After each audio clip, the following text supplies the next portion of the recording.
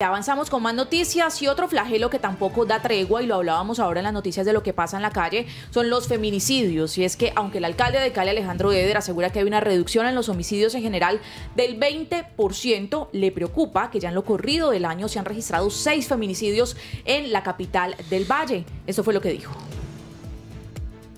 han sido esclarecidos, es cierto, para todos tenemos capturados a los responsables, pero no es aceptable que Cali siga siendo la ciudad más peligrosa para mujeres y para niños. Por eso, la orden es a la policía, a la fuerza pública, a la Secretaría de Seguridad, que vamos a seguir trabajando con contundencia para detener y, prever estas situaciones de, violencia contra la mujer, pero también vamos a seguir fomentando y fortaleciendo el sistema del cuidado. Aquí estamos parados al frente de Casa Matria en el oeste de la ciudad, vamos a proceder con la apertura de Casa Matria en el oriente de Cali, vamos a,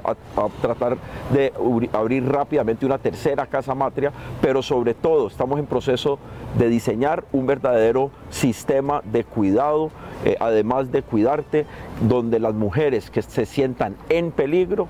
puedan rápidamente informar a sus vecinos o a sus comunidades para que las protejan.